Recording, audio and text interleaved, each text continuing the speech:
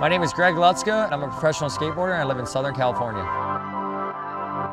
So back in the Midwest, I started skateboarding at like age eight. What really drove me to start skateboarding was it wasn't a team sport. It was all on you to get the trick or to learn.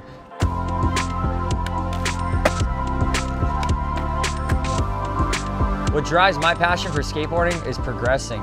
Every day I wake up and just want to push my limit to that next level and kind of just compete against myself.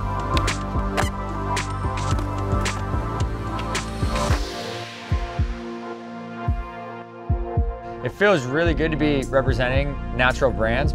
I rode for energy drinks in the past and they had a lot of sugar in them. When I started taking care of my body more and more, I could just see the difference in my skateboarding. I wanted a cleaner, healthier lifestyle.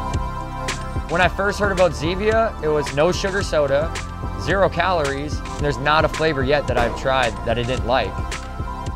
When you look at other sodas, there's food coloring or dye in it. And now I look at that and I'm just like, whoa, that's kind of weird. That's just added stuff that doesn't need to be in the drink.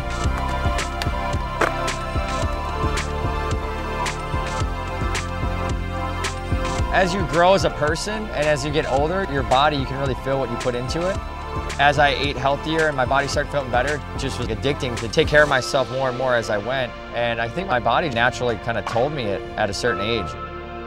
It's very important as a professional skateboarder to eat healthy and take care of your body so you can wake up in the morning and perform the best you can every day of your life.